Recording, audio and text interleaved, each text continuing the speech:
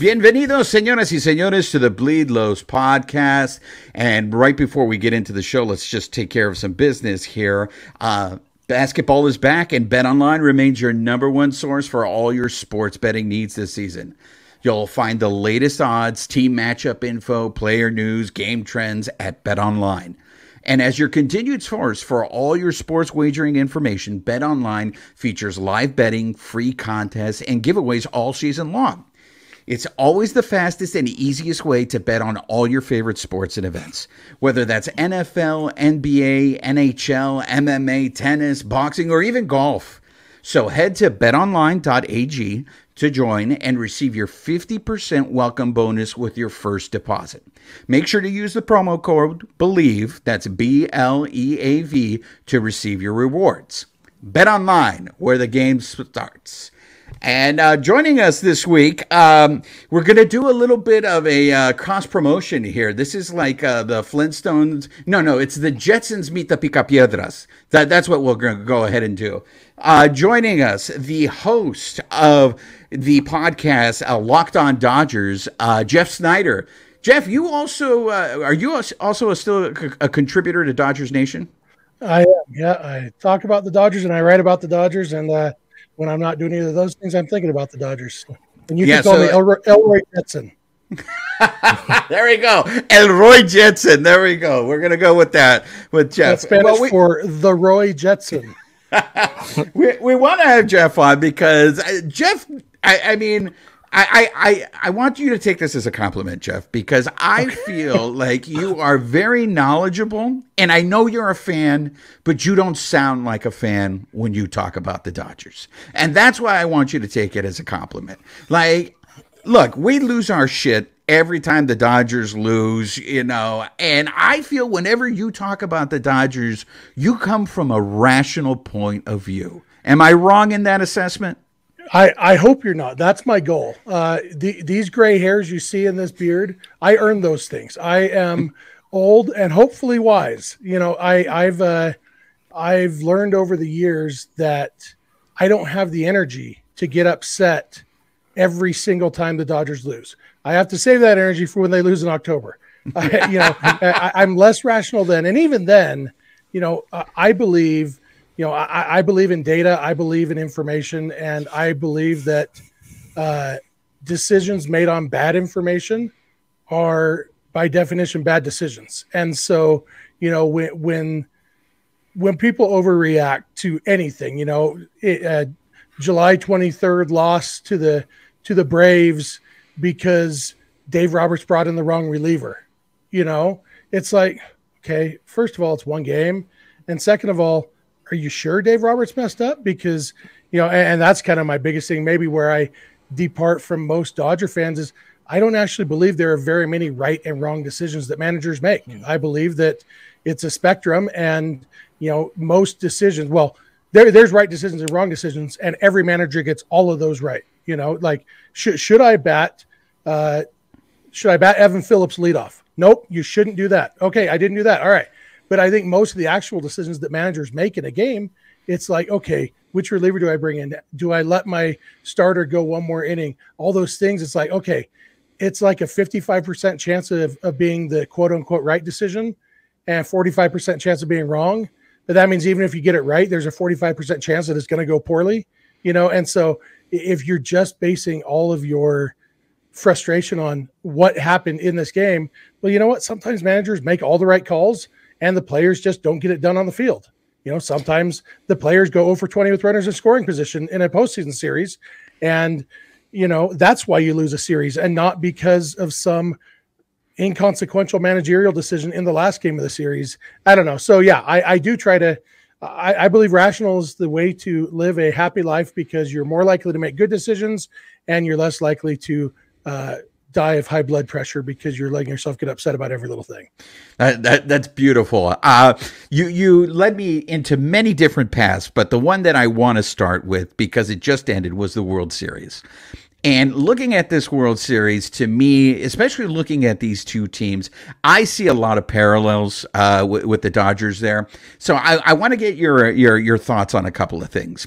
First of all, everything that you just said right now about making the right decisions.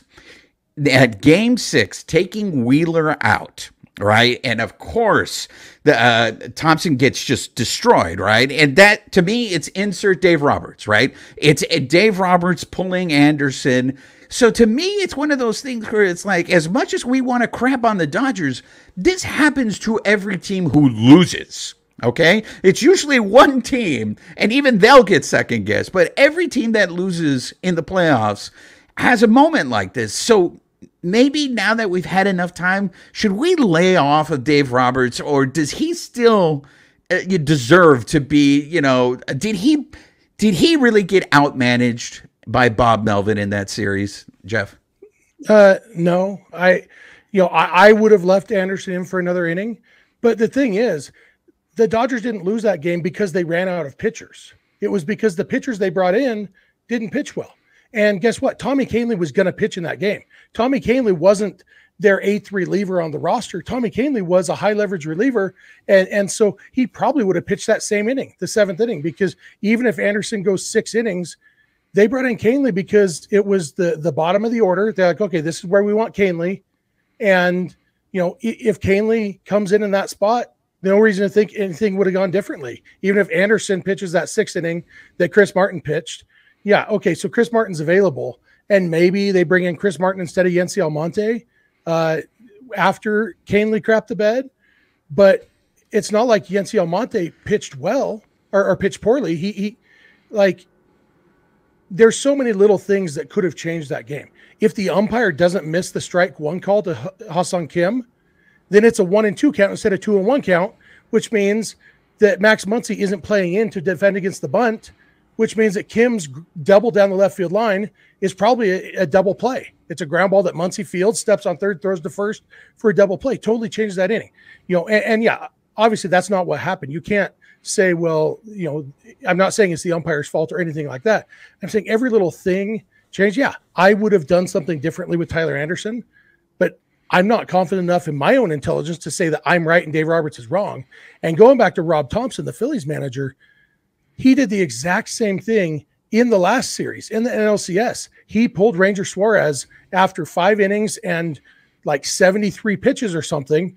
And he brought in the bullpen and they won that game. And every single article the next day was Rob Thomson went for it. He's in win now mode. He's aggressive management of the bullpen, blah, blah, blah. All this positive stuff. If Jose Alvarado doesn't give up a three run jack to Yordan Alvarez yesterday, it's the same thing. You know, yeah, Zack Wheeler was was cruising, but you know, uh, a lot of managers would have left Wheeler in there, but Thomson knew I had to go to my ace lefty reliever, and he came in and he struck out Alvarez, and you know, it's all about the performance on the field. That's what dictates it, and that's why all these narratives are written after the fact, where oh, because like that five run inning the Padres scored against the Dodgers, that doesn't happen very often. That was a crazy inning, and it wasn't because Tyler Anderson got pulled after five innings. It was uh, like a comedy of errors, just a, a, huge combination of things. And the fact that afterwards the story was all about what happened two innings earlier with the pitching decision. It's like, yeah, even though I disagreed with the decision, I think it's going a bit far to say the Dodgers lost this game and this series because Dave Roberts pulled Tyler Anderson early. I just don't see it. No, and and so that takes me now to the Astros, right? Babyface over here, I know, is just miserable because the Astros won a World Series. But look, take away what happened in 2017. This is a team that has been in the World Series four out of six years.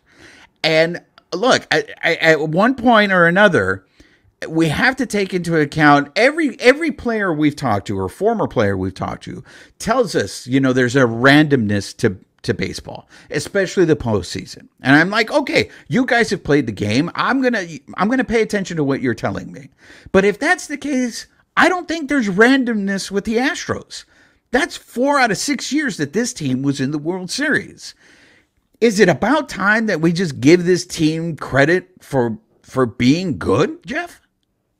Yeah, I, I think you can give the 2022 Astros credit while still uh, not being totally forgiving of the 2017 Astros. And yeah, I mean, this was a very, very good team. Uh, there's zero reason to think that any of the issues from 2017 are still going on now because they have somebody with actual leadership skills uh, as the manager, which they didn't have in 2017.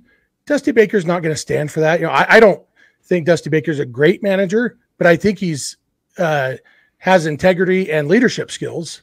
And you know, he wouldn't stand for what they did in 2017. So there's no reason to think there's any cheating going on. And they won 100 and what 106 games in the regular season and cruised through the postseason. And yeah, you know, it might have been different if they had had to play a better team in the World Series because it was the playoff weird format. The Phillies were the sixth best team, sixth best, right? Six teams made yeah, the playoffs yeah. from each league. Yeah, yeah, the Phillies were the sixth best National League team to make the playoffs, and that's who the Astros got to play. Uh, but yeah, I mean, the way that the the, the postseason has never really been about finding the best team ever since right. basically since division play started in 1969. Uh, before that was okay. Best team in the National League plays the best team in the American League, and we can have a reasonable guess that you know at least one of the two best teams won the World Series. Uh, in this case, yeah, since they add, started adding more teams, and every time they add more teams, it makes it less and less likely that the best team is going to win win the World Series. Uh, and if you look at actual best regular season record, it's like 25% of the time that the best team wins the World Series. It didn't happen this year. Astros were the second best, just like they were in 2017 when they won it. But I mean, you can make a pretty darn good case that this year's Astros team was very, very good. And they're obviously a well run organization. They replaced Jeff Luhnow with, with what's his name, James Click, who came from the Rays. So, I mean, he obviously knows what he's doing. Uh, they replaced Carlos Correa with Jeremy Pena. And, you know, there's, yeah, other than the fact that I didn't want to see Astros fans be happy about anything, and I didn't want Alex Bregman and his comically large head on his comically tiny body to to have anything good happen for him. Yeah, I mean, the Astros are a good team and they deserve to win the World Series. Babyface, what what do you got to say about your Astros winning the World Series?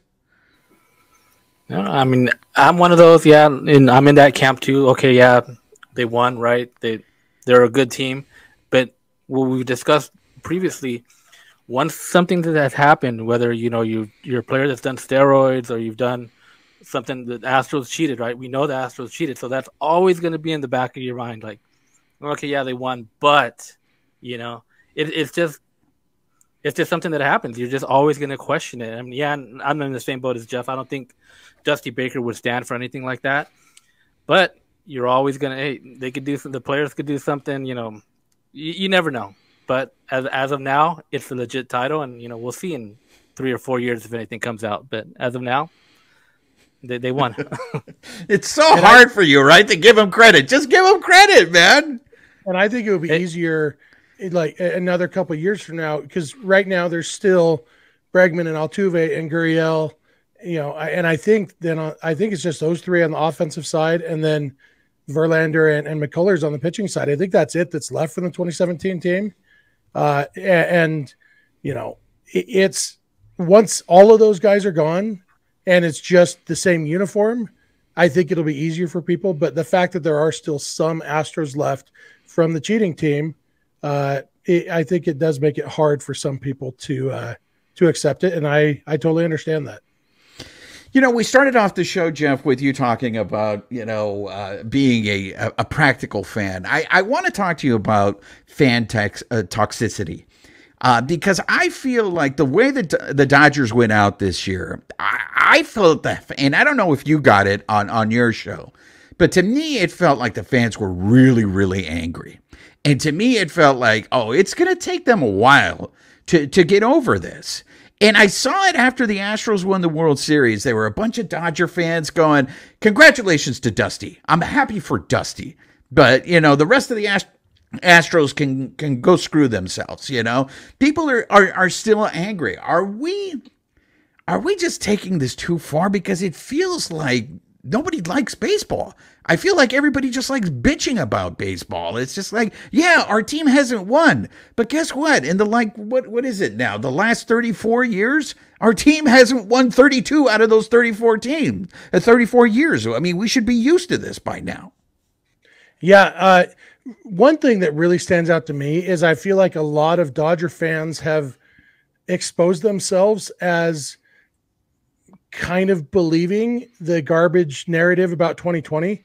The fact the Dodgers won the World Series two years ago, and a lot of people make intellectually dishonest arguments that that championship wasn't legitimate because of the shortened season.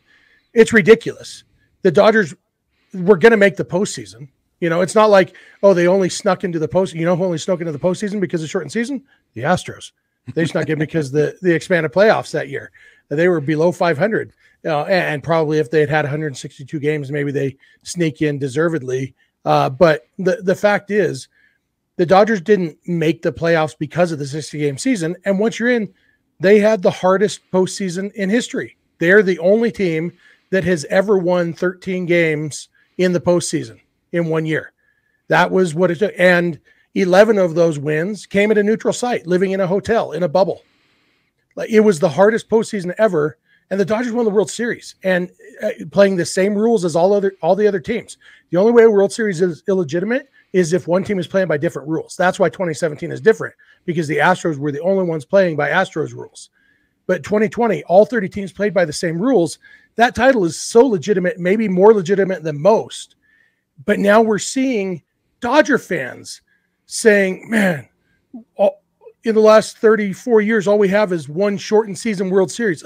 we have one World Series and it was two years ago, people. Like, have a little like perspective and recognize, yeah, I mean, all of us are old enough to remember.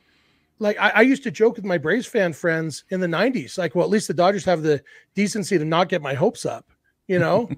well, the Dodgers, they get our hopes up every year. And I honestly believe fans would prefer if the Dodgers missed the playoffs than for them to lose in the division series and even to lose in the World Series. Like, and for me, Tommy Lasorda said the best thing you can do in baseball is win the World Series, and the second best thing you can do is lose the World Series, and that's absolutely true. And yet, you look at 2017 and 2018. No Dodger fans, very few Dodger fans were happy about that. And yeah, I, I don't want to have a parade. I don't. I'm glad the Dodgers don't fly banners for you know, National League West champions and National League pennant. It's only World Series. And that's how it should be. Like a team with the Dodgers resources and all of that should be unhappy with anything other than World Series.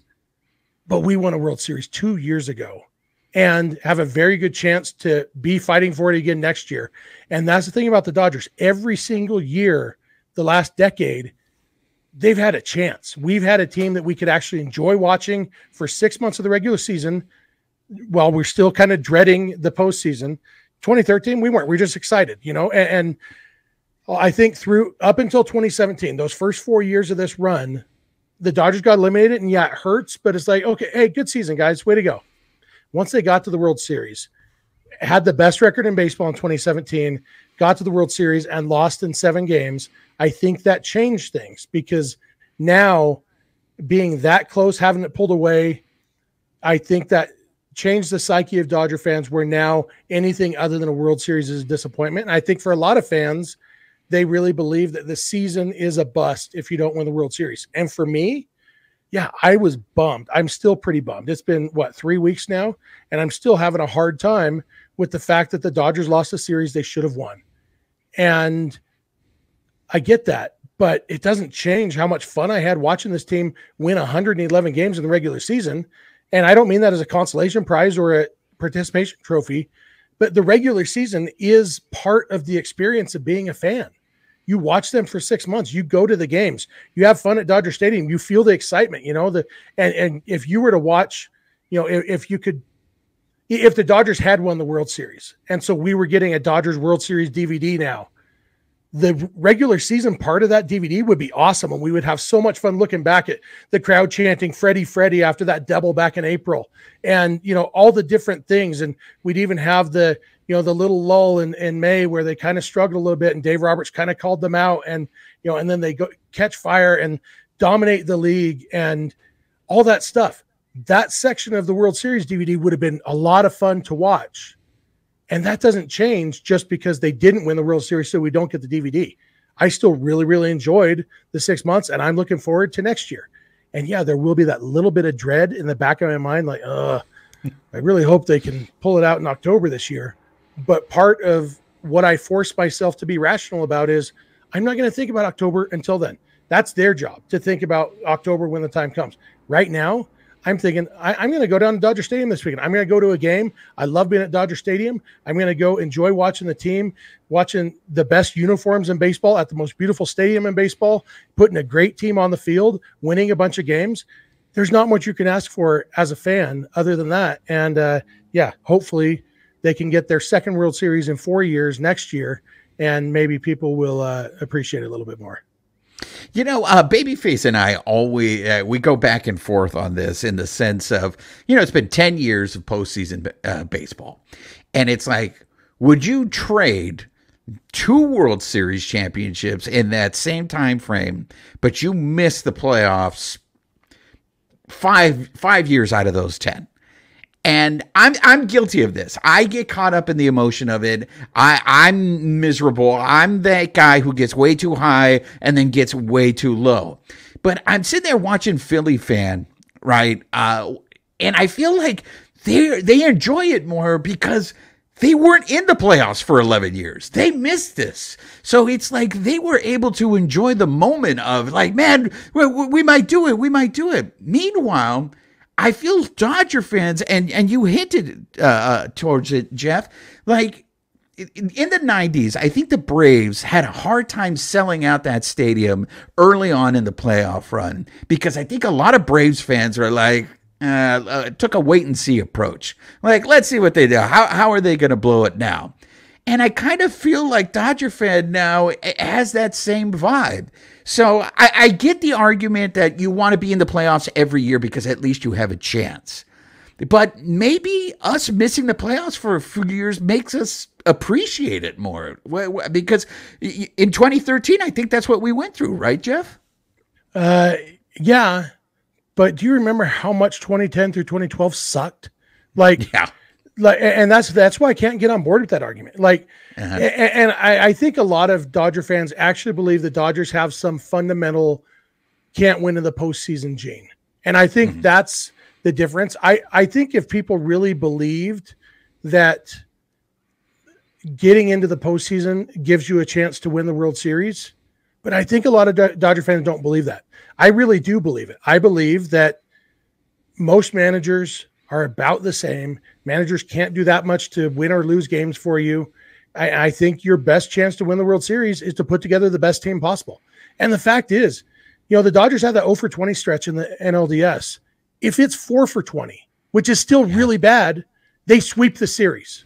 Like, yeah. because the games were all close. If they get a couple key hits, even if they don't play well, they just play a little bit better than disastrously awful they sweep that series and and probably play the Astros in the World Series. You know, it, it's these little tiny things, and there's no reason to think that the Dodgers went 0 for 20 in the postseason because of some fundamental flaw. You know, it, it wasn't Dave Roberts' fault. It wasn't, you know, wasn't that Mookie Betts can't hit or Freddie Freeman can't hit or Trea Turner can't hit. Trea Turner and Freddie Freeman both hit well in that series. It was, you know, they had Trayce Thompson kind of got exposed at the wrong time. Cody yes. Bellinger never did figure it out like they thought he might. Chris Taylor hurt at the end of the season, so he wasn't able to get on track. And so the fact is, they went into the postseason with a lineup that was about five people deep when they had the whole regular season as a real nine man lineup most of the time. And and that's really that was the difference. And that's there's no reason to think that's going to happen again next year. In 2021, it was Max Muncy and Clayton Kershaw both getting hurt the last weekend of the regular season. You know, if they had one more starting pitcher and one more Max Muncy, they probably beat the Braves in the NLCS last year and play in the World Series again. You know, the the only 2019 is the only one in this stretch that you could really say was Dave Roberts' fault. 2019 Game Five NLDS, that was on Dave Roberts. There was no reason to have Clayton Kershaw pitch the eighth inning. When you had eight rested relievers, you have six outs to get.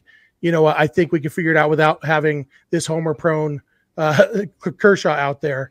That that's the only one that's on Roberts. Everything else, the Dodgers with a couple little different rolls of the dice could have played in five of the last six World Series. You know, and, and they didn't. And I understand why people feel the way they do, but there's not some fundamental flaw here. It's just that you know the postseason really is a crapshoot. And when you talk about uh, you know if with 12 teams in the postseason, that means if everybody has an equal shot, that's what uh, the, the 0.83 percent chance or 8.3 percent chance for each team. So even and, and so even if you say okay, with the Dodgers are the best team, still it puts them to what 15 percent chance to win the World Series realistically going in that means 85% of the time, something like this crap that happened this year is going to happen. You're going to get knocked out because of some stupid thing, because the umpire missed a strike. And so Max Muncy was playing in and Ha-Seong Kim knocked a double down the line, or, or because uh, Mookie Betts' line drive went right at Manny Machado with, you know, or even in that game, bases loaded and one out, and Will Smith rips the ball. And if that ball's 15 feet to the right, it's a three run double, and the Dodgers win that game. Instead, it's right at the left fielder. It's just a sac fly. All these little things that could have gone different. And it would take a real crazy stretch of the imagination for me to think that that's because of some fundamental flaw. And so, because of that, I am still always on board with get to the postseason, put together the best team possible, get to the postseason, and cross your fingers that, like in 2020, everybody gets hot at the right time, or enough people get hot at the right time that you win. The Dodgers in 2020, they hit with two outs. They hit with runners in scoring position. They pitched when they needed to. Even then, there was close stuff. If Manny Margot is safe at home, stealing home instead of out by three inches, maybe that series goes differently. You know, but it didn't because the cards fell our way that year, and they will again. And I, I am perfectly content to go into 2023 with the hope that this year they go our way again.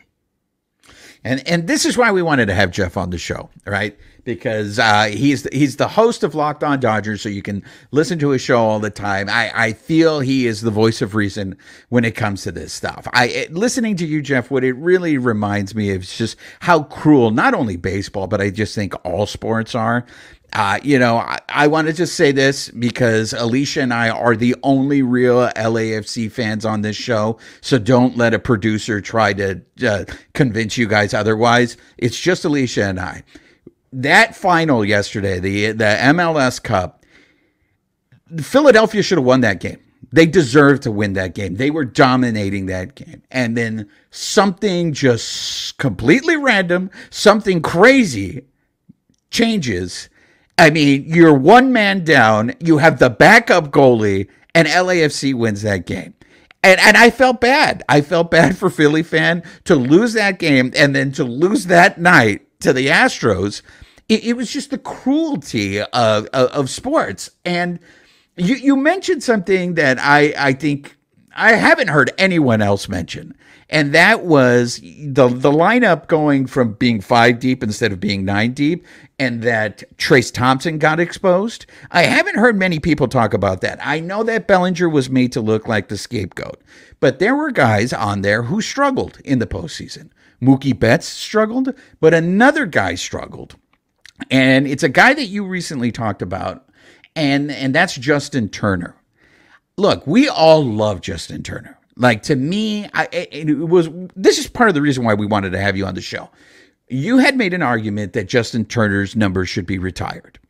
And you know, for me, it, it, makes sense because I feel of all these guys in this stretch, outside of Kershaw, that guy is a Dodger. Like that is a guy that I'm going to look back, even though he hasn't played his whole career with the Dodgers. Justin Turner to me is a Dodger, and he has made contributions that are worthy of it. There's a couple of questions that I want to ask you about this, uh, Jeff. One, why do you think, uh, first of all, Justin Turner's jersey should be retired? And what's it going to take for this organization to change their policy about retiring numbers? Yeah, you know, and, it's funny that I'm the one making this argument because I actually wrote an article five or six years ago saying that teams should unretire numbers and, and that they should instead have, you know, okay, your best pitcher, the Dodgers' best pitcher next year, you get to wear 32 because that was Sandy Koufax's number. You get to be Koufax next year, you know, and do that. You know, I don't know if I actually believe that argument. I don't know if I believed it when I wrote it, but you know, it, it you know, I, I do think retiring numbers is a little bit silly. I feel like it's not even necessarily the best way to honor a player because the only time you see that number is when you happen to look at that one part of the stadium, you know, whereas if it was on the field, it would be, you know, uh, it, it would be a much better way to honor a player. I don't know if there's a practical way to do it, but if we're sticking with the idea of retiring numbers, I think that it's a little bit silly that the Dodgers have this Hall of Fame rule simply because they're outsourcing their decisions. And, and I'll draw a parallel for you. Uh, the Motion Picture Association of America, they put ratings on movies. And uh, there are people, there are parents. I, am a parent, I have three kids. I'm not going to let my son go watch a rated R movie at the theater. But I don't know what's in that movie, you know? And, and then if you get down to PG 13, my son's 15. There's plenty of PG 13 movies I'm not going to let my son go watch. I'm going to look at the parents guide on IMDb and I'm going to say, okay, what's actually in this movie? Uh, you know, what, and because different things affect different people different ways and stuff. I'm not going to outsource my decision on what I'm going to let my children watch to the Motion Picture Association of America. I don't think the Dodgers should be outsourcing their decision on what numbers are retired to the Baseball Writers Association of America, who, all right, I'm going to tell you guys a secret. Uh, when Harold Baines was elected to the Hall of Fame a couple years ago, I actually talked to one of the people who was on that committee that elected him, a, a, a former player. I'm, gonna, I'm not going to say which one. There are 12 people on that committee. I talked to one of them, and he told me the reason that Harold Baines got elected was because they knew that Edgar Martinez was about to get elected, and Harold Baines had 500 more hits than Edgar Martinez. So if Edgar Martinez is going to be a Hall of Famer, Harold Baines has to be too. I don't want decision making like that to be determining what numbers get retired at Dodger Stadium. You know, Gil Hodges, is he any more worthy right now of having his number retired than he has been for the last 50 years? Yeah. If his number was worthy of being retired, why hasn't it been retired since he You, you know the, the story on that one, right, Jeff? The, the, how Ted Williams screwed him over? Yeah, yeah. Yeah, and, and yeah, yeah, Gil Hodges should have been in the Hall of Fame a long time or could have been, yeah. you know. If he should be in now, he should have been a long time ago. He's yeah. been dead for 50 years. You know, he hasn't done anything to bolster his case in a long, long time. You know, and, and Clayton Kershaw is going to go in the Hall of Fame. Everybody agrees on that. Fernando Valenzuela, you could absolutely make a case he should be in the Hall of Fame, probably not based on his stats, but if right. we focus on the fame half of the Hall of Fame and the contributions to baseball and the impact on baseball, Fernando, absolutely a Hall of Famer if he ever makes the Hall of Fame, the Dodgers will put his number up on the rafters. They haven't issued the number since then. It's retired. It's it, it's the worst of both worlds. We never see number 34 anywhere because it's not on anybody's jersey and it's not hanging up in the rafters. I say rafters. Dodger Stadium rafters. That's a basketball term. You know what I mean? Yeah, yeah. Uh, up on the loge. Uh, you know, it, it's it's ridiculous to outsource that decision to the Hall of Fame. If a dude had an impact on your organization – then that qualifies that deserves retiring his number, retire it. You know, and the only exception they have is Jim Gilliam, and he's a perfect test case for why uh, the kind of guy who should be retired. He played his whole career, his whole major league career with the Dodgers. After some time in the Negro Leagues, he was a borderline Hall of Famer statistically, and then he stayed with the organization as a coach, and then he died while actively serving as a coach he died. I just knocked over my Dustin May bobblehead. Sorry about that. Um, you know, he died mid-season. You know, it was it, it, was an emotional decision, but also it was the right decision to retire Jim Gilliam's number. So that brings us to Justin Turner. Statistically, based on wins above replacement, Justin Turner is the 21st best Dodger in history. And uh, some of those guys we don't have to worry about. There, there's uh, eight, eight, I think eight of them are currently in the Hall of Fame, and Clayton Kershaw will make it nine. So nine of those 21 retired based on the merits. Jim Gilliam is another one. So there's 10. And then you've got Zach Wheat and Dazzy Vance, who are in the Hall of Fame but didn't have numbers because they played before numbers. Don't got to worry about them. There's four other guys who aren't in the Hall of Fame uh, who played before numbers, so we don't got to worry about them. And so it's really it's Orel Hershiser, Willie Davis, Fernando Valenzuela, and then you get to Justin Turner. And I might be missing one more in there. Oh, Steve Garvey and Ron Cey. You know, those guys. That's a pretty good group. I don't think that's Yankees level. Yankees retired Paul O'Neill's number. It's like, come on, Paul, Paul O'Neill. If, if if some bad committee later in life elected Paul O'Neill to the to the Hall of Fame, he might not even have a Yankees hat on his plaque. He might be a, in a Reds hat, and maybe that's Dodger fan because Paul O'Neill killed the Dodgers when he was on the Reds. Yeah, but it's like if you're retiring Paul O'Neill's number, you've taken it too far. You've lost the narrative. I'm not suggesting the Dodgers should retire Kike Hernandez's number. I guess they just did with Gil. Yeah, it's already retired. uh, but you know, I Joc Pederson. you know, uh, Joc Pederson wouldn't even be the first person you retire number 31 for, you know? Yeah. It's Mike Piazza or Mike Max Scherzer. No, but uh John you know, Shelby. John Shelby. John Shelby.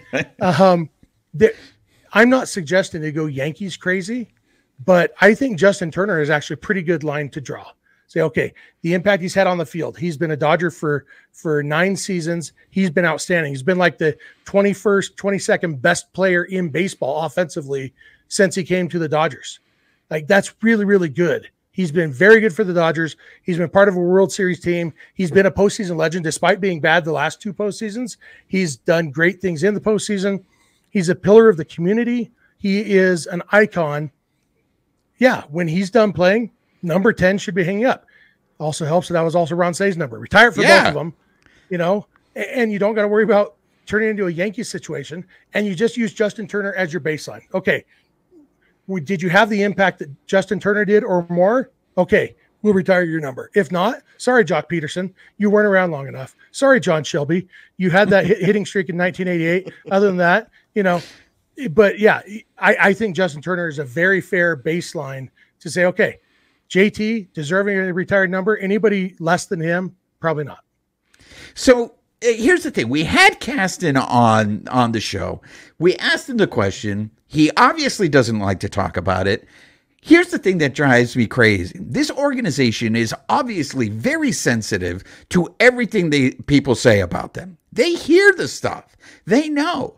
And the fact that they won't do this. I I mean, look, we we lost Vin who knows how much longer we're going to have Jarrín here for. We lost we lost Mike Brito. Brito and Jarrín. Jarrín has told us that he has gone to the Dodgers and saying, you need to retire Valenzuela's number. What I am concerned about is they're going to wait until Valenzuela dies and they're going to do it. And isn't the whole point of this is to recognize this person while they're still alive? I, I think you have a good point there. Let's honor Justin Turner. At the same time, you can honor Ron Cey. You killed two birds with one stone there. One of them's a penguin.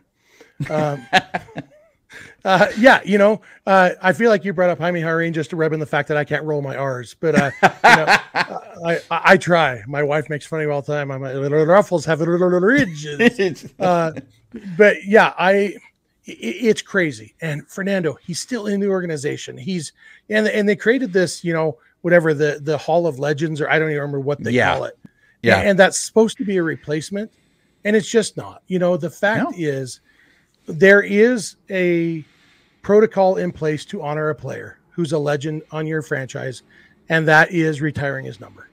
And when you haven't issued 34 anyway, like, and I understand they think that if they retire 34, it'll open up the floodgates. And and that's why I, I want to start with start by saying, okay, Justin Turner's our baseline.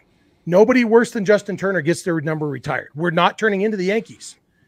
But you know what? Throwing in, I don't think it would diminish the Dodgers at all, and it would absolutely uh, burnish their their appreciation of history to have Ron Cey and Steve Garvey and Fernando Valenzuela and Orel Hershiser and Willie Davis up there hanging on the loge level. You know, and, and, I guess somebody would probably try to say you should also do David Lopes and Bill Russell if you're doing Garvey and Cey. Maybe you make an exception for them. I don't know. And and and that is where the that's where the the trickiness comes, you know. Um Lopes and, and Russell were both better choices than than Paul O'Neill. Um, but you know, so maybe you make that exception for them. I don't think you need to because Bill Russell was clearly the the weak link of that infield. He played for a long time. He wasn't actually a very good player. And Davy Lopes had a lot of skills. You know, was a legend in some ways, but not as good as Garvey and Cey. Uh, you know, I don't know where you draw the line there, but I think you can easily set it up so you're not worried about the slippery slope. You're not worried about opening the floodgates, whatever uh, you know cliche you want to use, and you can still honor guys like Fernando Valenzuela, who absolutely should have his number retired. Okay, great. That I mean, that's the thing that we wanted uh, to talk to you about because I, I actually like your argument here about Justin Turner. My thing is, is if he ended up, let's say, getting honored before Valenzuela, that's going to be a huge problem for the Dodgers. It is. A, and he, go ahead. Yeah, he never would before Fernando.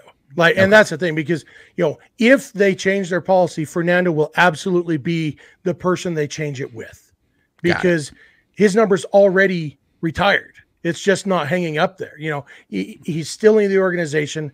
I, I imagine if they were to change it, I think they'd probably do Fernando and Orel at the same time. They're mm-hmm. both still announcing for the Dodgers, retire both of their numbers, and and they could even publicly say, "We're not going to turn into the Yankees." They could call out Paul O'Neill, just like I did on this podcast just now. We're not going to turn to the Yankees and retire Paul O'Neill's number. Sorry, Mike Ramsey and other Mike Ramsey, you guys are out of luck. But you know, but yeah, they they absolutely should do it, and I hope they do eventually. And you know, if somebody gives me 10 billion bucks, Elon Musk, I'm talking to you, I will buy the Dodgers and my first order of business will be retiring Fernando's number. You, you know, and here's here's the thing, right? And and that's what it makes it so sad because you you're right. Valenzuela doesn't have, in my opinion, Hall of Fame numbers, right? But it's his contributions not only to this Dodgers organization, but to what he's done for baseball, especially baseball in Los Angeles, especially with the history of Chavez Ravine. What he does, that is recognition that that deserves to it. You know, the end of his career, it was rough to see him playing with the Angels, playing with the Padres, with the Orioles, right? But now we're getting to the point with a guy like Justin Turner, where to tell you the truth, he's a free agent. We're going to get into this offseason discussion with you right now, Jeff. Like, what do you do with a guy who is like, you want to be loyal towards him, but at the same time, I don't think you we can ignore. And you said it the last two postseasons now he hasn't delivered. What do the Dodgers do not only with Justin Turner, but with these other free agents that they have?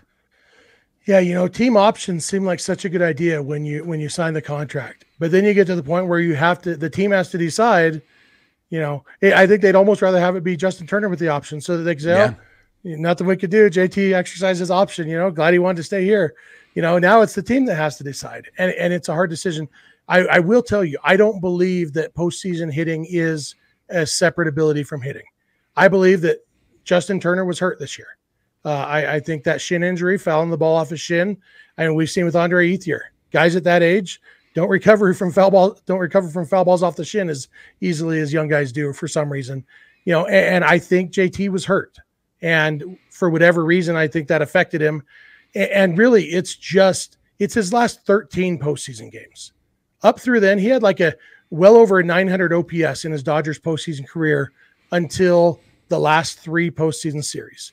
This year he was hurt. So really, we're talking about last year against the Giants and against the Braves. It's like, okay, is that really enough to say he's done, especially with how well he hit in the second half of the regular season this year? I think people, you know, if you look back at uh, Will Smith in 2019 and he struggled in the postseason, and people wanted to trade him. Oh, he's a bust, you know, and and he had two b- bad weeks in September too.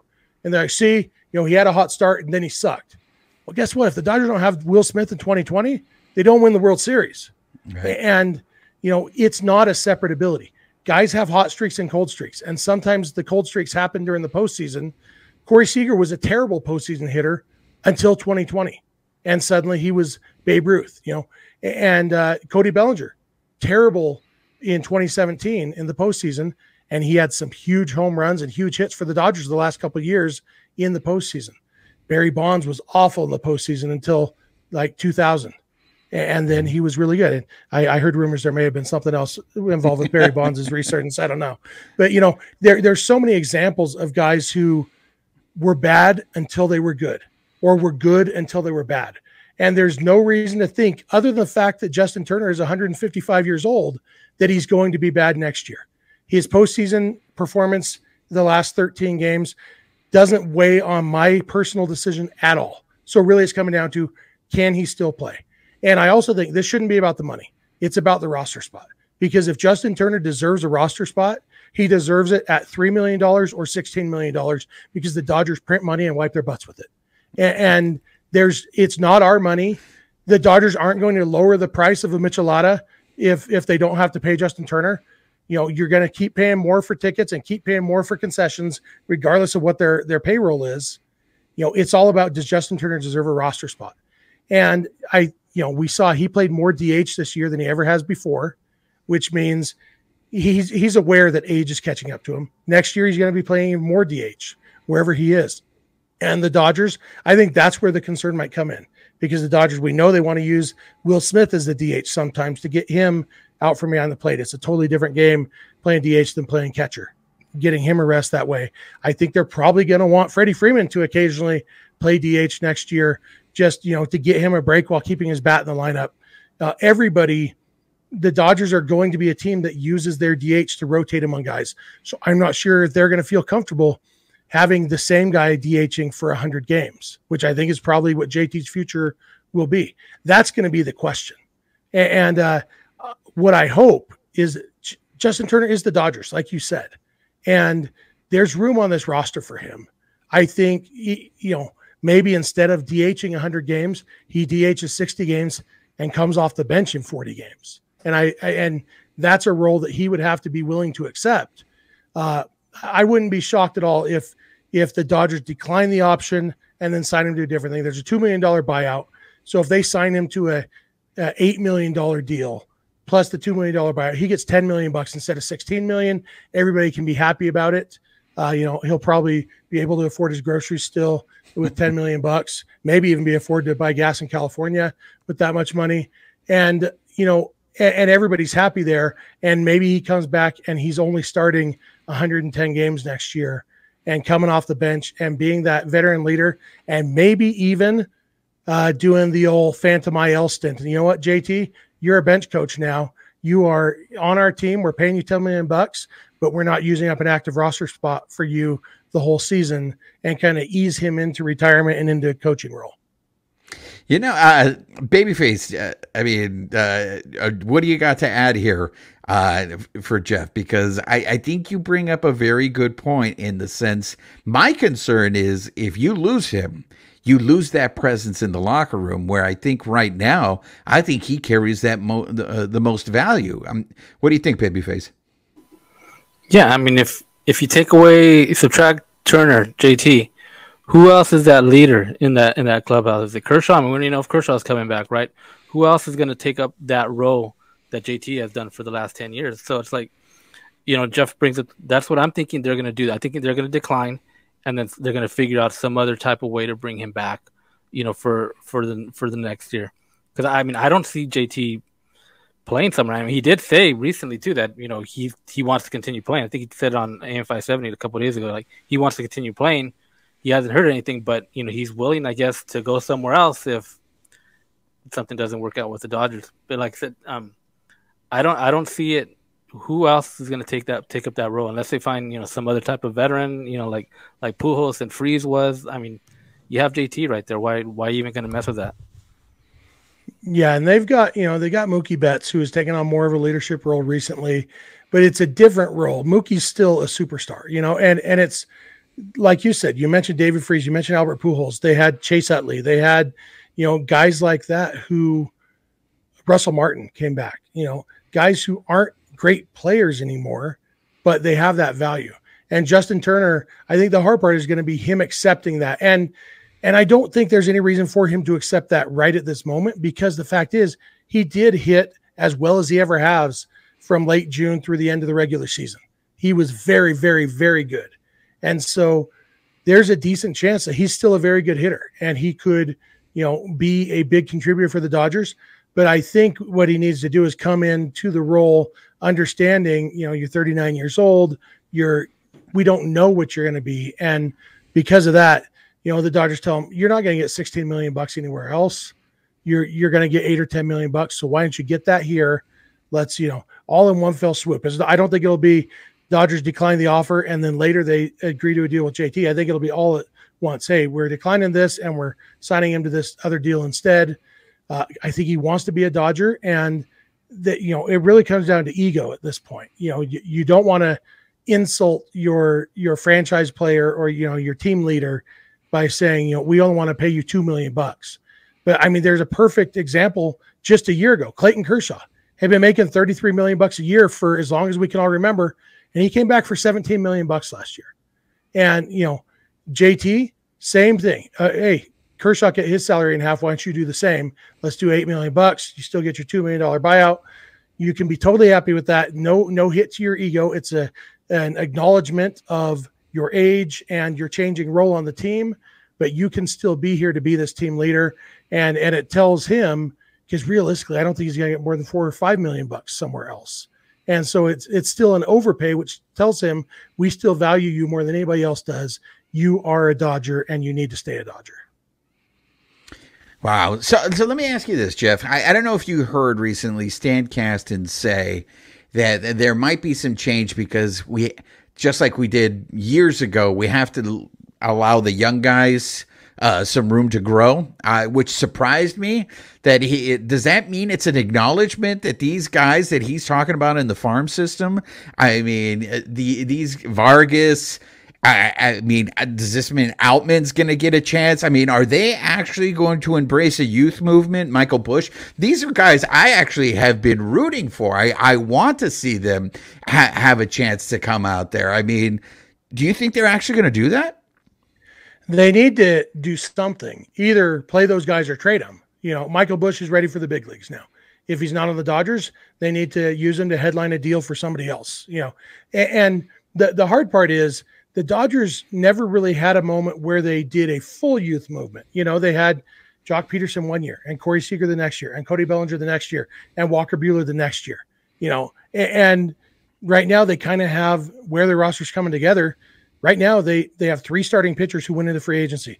Their starting shortstop went into free agency. Their third baseman maybe is going to free agency. Center fielder might be going to free agency. You know, they have a lot of spots to fill, and I think it's going to be a scary thing if they try to do a full youth movement because the fact is, as we saw with Miguel Vargas in September, guys don't always hit off the bat. You know, Gavin Lux was as close to a sure thing as there was, and it took him three years to really become an established big leaguer. And so the Dodgers, I think they'd be in trouble if they tried to do it all at once. Uh, and so I think they're going to have to be smart about that and, and, you know, figure out how to do it. And so you prioritize. And really, I don't think, I know people are clamoring for James Outman.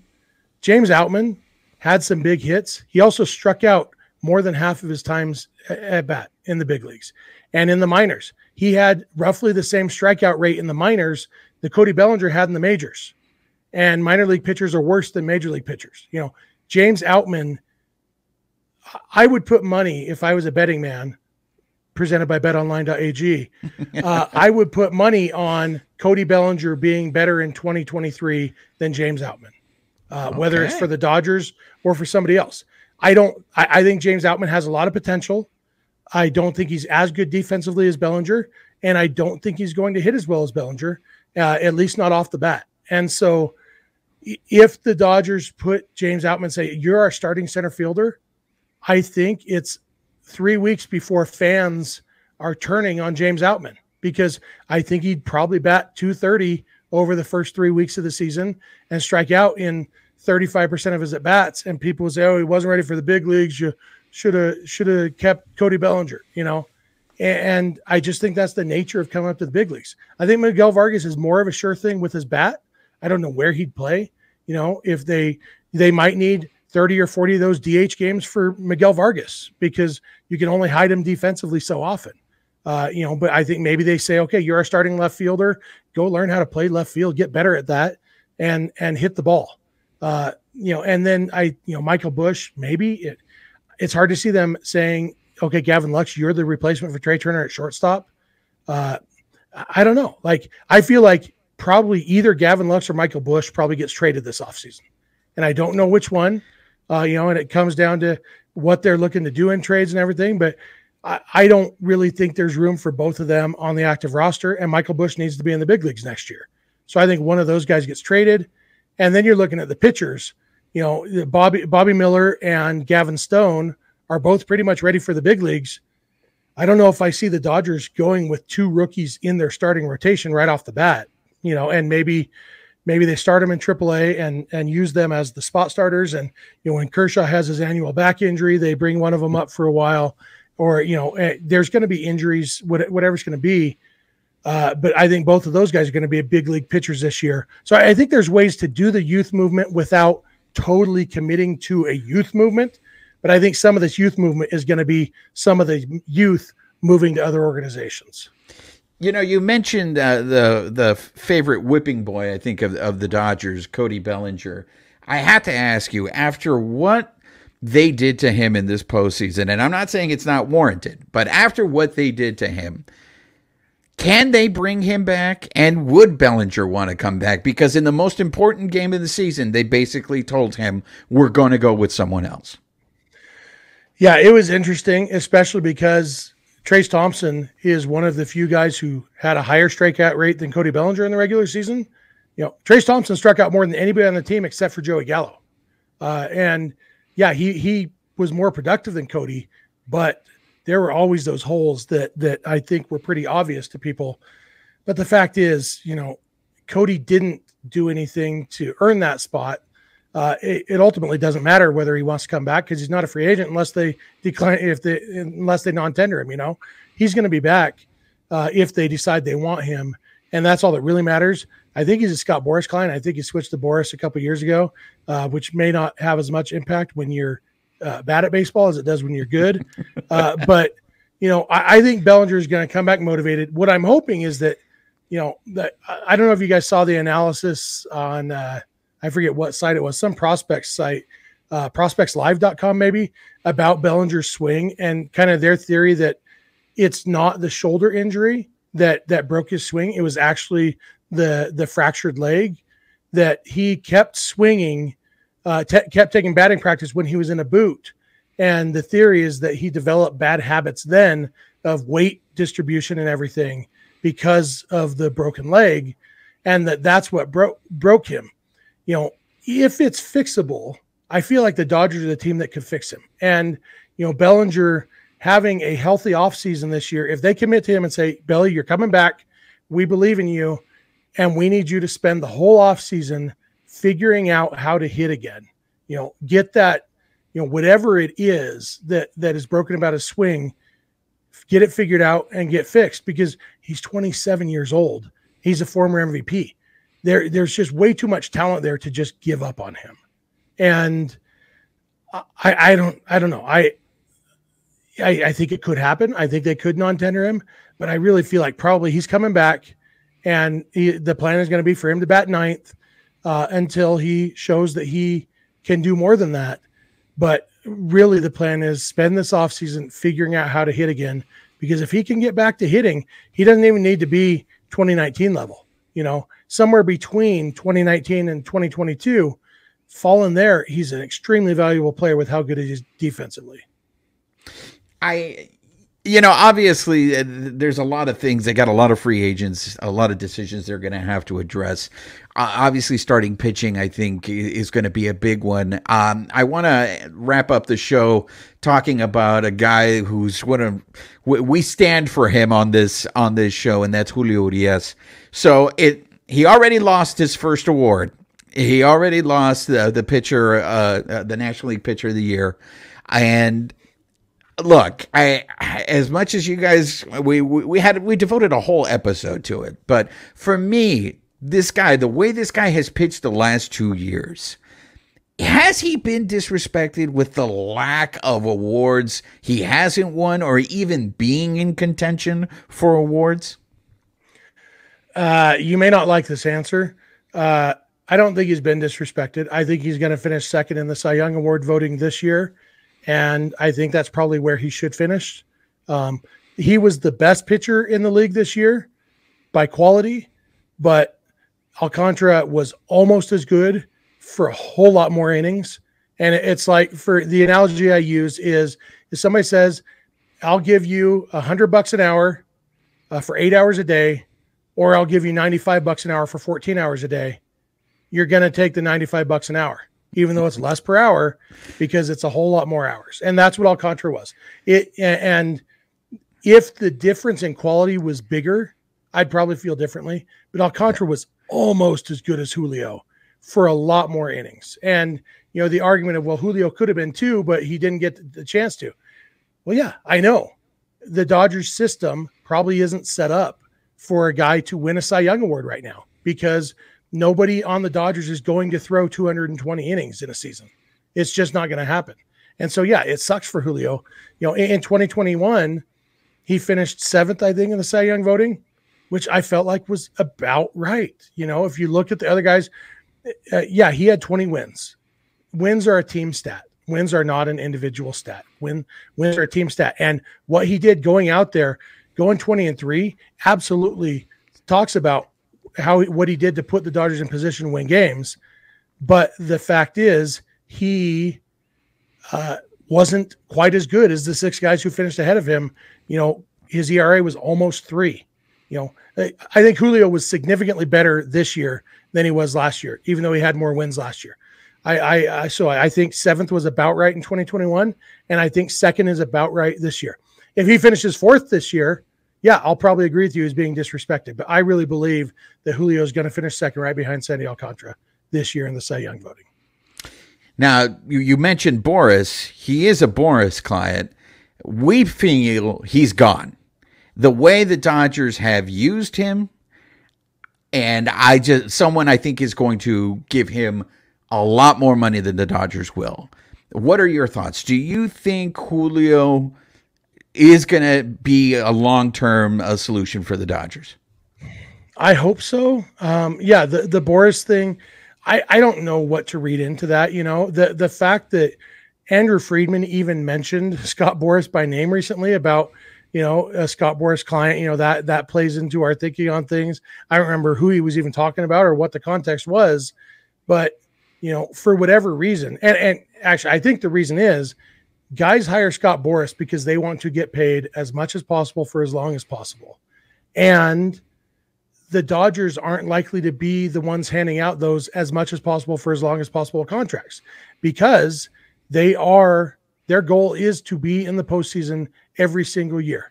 And they they've already committed a lot of money and years to Mookie and Freddie. And, and beyond that, it's like, I don't know, if you lock yourself into too many of those contracts, uh, you end up with a, a team like, you know, the Yankees after their hot run, where hey, we're paying a lot of money to the corpse of Derek Jeter and the corpse of Alex Rodriguez, and you know, and, and it's like, yeah, you've got the you've got the legends still on your team, but you don't have the financial flexibility to keep building a winner. And even more than that, you don't have the roster flexibility. You know, when when the Dodgers didn't sign Bryce Harper, I got yelled at for making the argument that there are baseball reasons not to give Bryce Harper a 13 year contract. It's not a financial decision, it's a baseball decision because Bryce Harper, what if he's great for six years and then lousy for seven years? You know, hey, uh, first of all, you don't even know when he's lousy. We don't know if Cody Bellinger sucks right now. We don't know if he's bad at baseball now or if he's had a bad couple years. Imagine if this was Bryce Harper in the same boat as Cody Bellinger is right now, but there's seven years left on his contract and at what point do you, you know, uh, you're you're locked into paying him the money, but at what point do you say, okay, but we don't have to be locked into the roster spot. We can release release this guy. You know, we'll, we'll have to keep paying him, but at least we won't use roster spot.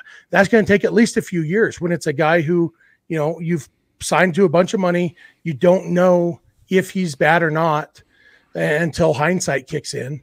You know, and, and so there are a lot of reasons not to lock into big long contracts like that. And I think the Dodgers are probably going to, for the most part, remain the team that doesn't give those big long contracts. So if Julio is going to be a Dodger long term, it's going to be because he chose to not do the big long contract. And whether it's, you know, the we'll, we'll give you a four year deal worth more per year than anybody else was offering, but we're not going to lock into eight years of you or or whatever it is, you know, I don't know, but he's going to have to except not a not getting a record breaking contract if he wants to stay with the Dodgers. All right, last one from me, Jeff. I feel this is the first uh, off season that Friedman has taken heat. Am I looking into this wrong? Um, I don't know. I I mean, there were whole Twitter accounts dedicated to Ad, Andrew Friedman. You know, I, I think I think Friedman has taken heat in the past, uh, and I think it's going to depend on what happens now. I, I don't think you can blame anything about 2022 postseason on Friedman. He put together a team that won 111 games. He put together the best team in baseball, and you know there were holes, but it's not like those are holes that they could have anticipated and fixed in in July at the trade deadline. You know, uh, they wouldn't have. We didn't know Chris Taylor was going to get hurt, and and you know he was not having a great season, but there's no reason to think he was going to be that bad. If anything, they would have replaced Max Muncy at the trade deadline, and he actually turned out pretty good. You know, they would have traded replaced Justin Turner. He played well. You know, so I, I don't think you can really blame much 2022 on Friedman. And honestly, I believe Andrew Friedman is the smartest executive in baseball, and uh, I think he's going to do what it needs to what he needs to do to put together another really good team in 2023 and fingers crossed that they're all healthy and get hot at the right time in October and uh, that's really what will determine whether it was a successful offseason. We won't know for another year until these next two months are successful. Babyface, you got anything uh, for Jeff before we let him go? So, going into the offseason, what's uh what do you think is one one uh one big move or non big move that we're going to see for next season? Are we are they going to make a, an impact, or are they just going to kind of take care of their own guys and you know some supplemental guys? I think we're going to see actually a significantly different roster for the Dodgers next year than we had this year. Um, I don't. My gut is that Trea Turner's not coming back because you know people are throwing around nine year contract. The Dodgers aren't going to give Trea Turner nine years. If he comes back, just like I said with Julio, it's going to be on a, a four or five year deal for a lot of money. You know, that's what they're going to be comfortable giving Trea Turner. I suspect he'll get something different. I I wouldn't be surprised at all if they go with a much less big name if they don't sign any of the big name shortstop free agents and you know the one name that got thrown around recently was uh, uh, Willy Adames from the Brewers. Uh, a guy like that wouldn't surprise me at all. A guy who can slot right in. He's not going to take Trea's spot at the top of the order, uh, but they don't necessarily need that, you know. Uh, but having Adames batting seventh in your lineup, that's a pretty good seven hitter. You know, good defense, solid hitter. Uh, you know, something like that wouldn't surprise me at all. I, I do think they're going to bring back Kershaw and Tyler Anderson uh, and I think that solidifies their rotation. And then I think we're going to see some of that youth movement starting to happen. You know, I think Hanser Alberto, for as as much fun as he was, I don't really see a role for him on this team next year. Trayce Thompson, like I, I expect him to probably be traded. I don't think, I don't think there's really a role for Trace uh, next year unless he's willing to be that bench role again. Um, so, yeah, I, I think the rest roster next year is going to be quite a bit different, and I think it's going to be a combination of free agent and trade market. Uh, but I think my biggest prediction is that Andrew Friedman is going to do something that all of us say, "Wait, who?" And then that person's going to end up having like three and a half WAR next year. it was Tyler Anderson this year. Hey, hey Jeff, uh, you know what I was going to ask you real quick in in terms of the the, the biggest surprises in terms of what they're doing. What is the Catman? I mean, what he did this year is that an anomaly, or I, I, I obviously the injury really, you know, I think leaves us scratching our head. Like, but I still don't know what is this guy? Has he really turned a corner, or was he just Alex Wood in 2017, the first half of the season? I think it's a little bit of both. I think he's a very good pitcher. Um, I, I, think I, I, have a theory that I've never run by anybody uh, smart enough to know if it's right or not. Uh, I think it takes changeup pitchers a little bit longer to succeed in the big leagues uh, because changeup is by nature a chase pitch. It requires guys to swing at pitches out of the zone. And I think it's easier to get minor leaguers to swing at pitches out of the zone than it is major leaguers. And so I think it takes a while for changeup pitchers to get the hang of throwing it in a spot where a major league uh, hitter will swing at it and not be able to hit it. I think that's why Ryan Pepiot was a lot better in the minors than the majors this year. I'm still high on Pepiot for that reason. I think that he will get it honed in, and I think it was the same thing with Gonsolin. His splitter is his best pitch, and I think it just took some time. You know, you remember Tony Gonsolin, e- even though his his numbers, his ERA was always good, is always like, okay, he only lasted four innings. He allowed nine base runners and somehow only allowed one run. You know, he yeah. had five walks and four hits and only allowed one run. You know, and because he didn't have that command, didn't have that swing and miss pitch. And I think what we saw was he had a little bit more of that this year, but still, he's not striking out many guys, uh, but he's getting some of the weak contact.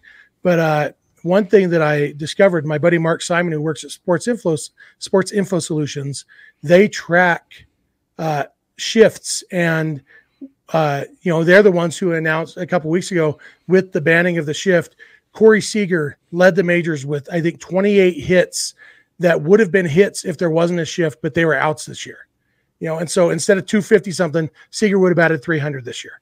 Uh, well, Tony Gonsolin had the second most uh, would have been hits that turned into outs because of the shift in baseball this year. Uh, Jameson Taillon was the only guy in baseball with more than him.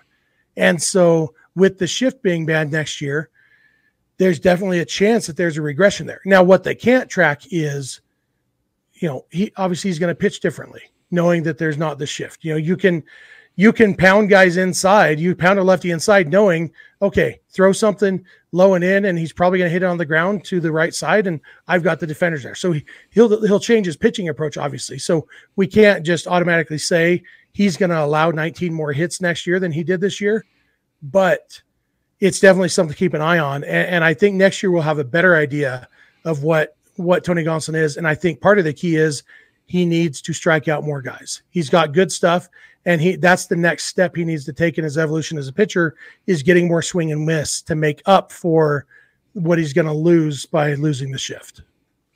I know I lied and I said that was the last one, but you just uh, triggered two uh, for me. One, who is in the Dodgers farm system right now that we're not talking about that we should be looking for in spring training? You know, I mentioned Gavin Stone earlier, and he might fit that bill uh, because Gavin Stone is a name nobody really knew last year, a year ago at this time. He pitched, he moved from high A to triple A this year and dominated all three levels high A, double A, and triple A. He had a combined 1.4 something ERA. His worst ERA at any of the three levels was 1.6 this year. He was dominant as a starting pitcher. He is, he's the real deal. And he did something. He changed something because he wasn't that he's throwing harder than he did in college. He's throwing harder than he did in 2021 in the minors, you know, and, and uh, his pitch mix and everything. So I think Gavin Stone is one of those guys that people started talking about later in the season, uh, but I don't think he's getting as much talk right now. Uh, and then there, I think there's other guys who I, am not a, a, prospect expert by any means. Uh, there's a guy named Ronan Kopp who's only 19 years old and throws 100 miles an hour, left-handed pitcher. Um, there there's another guy, the guy they got from the is it who they got from the Blue Jays for Mitch White? His name is Nick Frasso. He throws 100 miles an hour, and, and for both those guys, it's all about command, you know. But but they've got some really really good arms in the minors that are coming through. Both of those guys, I wouldn't be surprised to see them move up. Frasso is a little bit older. I think he's 24, uh, somewhere in that ballpark, and so he's a guy I could see making an impact in the Dodgers bullpen in 2023 if the, if he can get that command down because he's got the stuff. Ronan Kopp is a guy who uh, a little further away, only 19 years old, but you know somebody if you've got that kind of arm at 19, it's pretty exciting. Uh, you know, I, I think Dodger fans are pretty good at being aware of the big names, and so it's hard to sneak up on on guys uh, or sneak up on fans. Uh, you know, everybody knows Diego Cartaya and Bobby Miller and those are definitely two guys to be excited about. But uh, I, maybe those guys I mentioned might be might fit that bill if we're not quite talking about them as much as we should be. Okay, now this one really is the last one. All right. What is going on with Dalton Rushing? Is this is this real? I I I feel like, you know, no pun intended. I mean, for him rushing through, you know, the farm system, I mean, is this guy, I mean, that legit? That dude can hit. Uh, I don't know if he's quite as legit as his 2022 minor league numbers make him look. He had better numbers in the minors than he did in college, but he also he was stuck behind a very good catcher most of his college career, and so uh, you know I forget the dude's name, but he was one of the top draft picks uh, a couple years ago, and so rushing wasn't really a starter until this last year, and then to go to being the the 40th pick in the draft or whenever the Dodgers finally had their first pick. Uh, yeah, he he is an excellent hitter. I think what we're seeing from him is pretty darn close to what he's capable of as a hitter. He's not going to hit 400 in the big leagues like he did in the minor leagues, but I think Dalton Rushing is a great, great hitter and maybe not ready for the majors quite yet. I mean, he only played as high as, you know, I, I think, did he even get the high A? Might have just been low A. I yeah, think he I, just played in Cucamonga. Uh, but, you know, a couple years from now, a year or two from now, I could see him hitting in the big leagues. The question is, can he be a major league catcher? And I don't know the answer to that. I've only seen him play in person one time, and he he didn't look like a good defensive catcher to me. I'm not an expert on catching or prospects or anything, and so, uh, but watching him, I actually had the thought a couple times. Okay, well, good thing he can hit. You know, uh, he's got a good got a good arm. I'm not sure if he's going to be a big league catcher, uh, but he's a guy like it wouldn't shock me if he made the big leagues in 2023. Uh, you know, if he hits if he hits as well as he did in Cucamonga, he's not going to spend long in Tulsa. He's going to be up to Oklahoma City, and you know, if they have an injury, you know, Austin Barnes gets hurt and they need a backup catcher, maybe, or if they just, you know what, let's let's call this dude up and let him play DH for us for a couple weeks. You know, it, it wouldn't shock me. I think he can really, really hit. So with him and then the talk of Cartaya, the trade, uh, the, this this ridiculous notion of trading Will Smith, that's bullshit, right? That's just that's just hot stove nonsense that I can't stand this time of year. Most likely, um, the the one possibility would be if they re- if somebody really if the Angels called and said we'll give you Shohei Ohtani and Mike Trout, and we'll pay all their contracts, and all we want is Will Smith. Yeah, the Dodgers are going to trade Will Smith. You know, uh, and that's kind of the extreme. Uh, but you know, I think there are trade packages out there that could convince the Dodgers to trade Will Smith, even though they don't have a catcher who's ready to replace him right now. Trading Will Smith would mean either go find another catcher or Austin Barnes is your starter, and uh, both of those aren't great options. So it would have to be a really, really impressive. I think it would have to be significantly better than what the Marlins got for JT Realmuto four years ago. Realmuto was the same age that Smith is right now, like literally within like their birthdays are nine days apart, like four years and nine days apart or something. So he's like the exact same age. Smith has been a little bit better with a little bit less time in the big leagues than Realmuto had at the time. Uh, they're different kind of players. Realmuto is better defensively than Smith. Smith is a better hitter, uh, but they're pretty. It's a pretty decent comparison. And I think the Marlins, if the Marlins were capable of shame, I think they would be uh, they'd be looking back on that Realmuto trade and thinking, yeah, we didn't get nearly enough for JT Realmuto. And I think the Dodgers are better at that than the Marlins are, and so they would have to get a package significantly better than what Realmuto got for the Marlins. Go ahead, babyface. No, I was just going to follow. Um, I, I, heard the, the initial when they drafted Rushing was they see him as a long term catcher. So but that that again puts again okay, you got if he's going to somehow make it to the big leagues soon, is it going to be at catcher? You know, you got Cartaya, you know, you have um, you know Will Smith. You know, what are you going to do with with some of those guys? So yeah, yeah, and, and the fact is, you can teach a lot of what it takes to be a good catcher. You know, Dalton Rushing is an excellent athlete. He has a good arm. Uh, the arm is the part you can't teach a catcher. And so, yeah, it wouldn't surprise me at all if they do turn Dalton Rushing into a good catcher.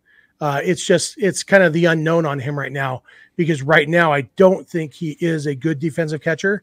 But like you said, they do think of him as a catcher, uh, and and and maybe that's you know you have to say that you don't draft a catcher and say we don't think he's going to stick at catcher, especially with your first pick in the draft. You know, if you're drafting a catcher, you're going to say you expect him to stick at catcher, uh, but you know they don't always stick at catcher, and and that's okay. You know, Albert Pujols used to be a catcher; he turned out okay You know, th- there's plenty of guys who were catchers and then they weren't, and they still had great careers because they could hit the crap out of the ball. And uh, so, while I think Dalton Rushing could remain a catcher, uh, I think it's going to be his bat that gets him to the big leagues pretty soon. And there you have it, folks. Our special crossover episode with the Jetsons and the Picapiedras, joined by the brilliant Elroy Jetson uh, Jeff, the host of Locked On Dodgers. So make sure uh, the, the, first listen of the day, as Jeff likes to say, uh, listen to Locked On Dodgers. As you can see, this man is a wealth of knowledge. We can't thank you enough, Jeff, for coming on the show and sharing this. Um, we love nerding out, even though we don't have baseball to nerd out about right now. But uh, thank you again for for coming on and and sharing your expertise. Well, I am happy to do it, and you know, I I love Dodgers podcasts. I think it, the world would be a better place if Dodger fans recognize the fact that just by virtue of us all being Dodger fans, we're already better than all the other baseball fans anyway. We don't need to fight amongst ourselves. We can all be friends because we already have that going for us. Look, you could be a Giants fan. You're not. So you're already a lot better than than most people. And so yeah, Dodger podcast, we can coexist, you know. You guys how often you guys do your show? We we do well now in the off season. We're down to one episode a week, but I mean, before we were doing two episodes a week. You you're a daily podcast, right? We're five days a week, Monday through Friday, and we keep it to a half hour. Uh, which, as you can see on this timestamp, we did not keep this thing anywhere close to that.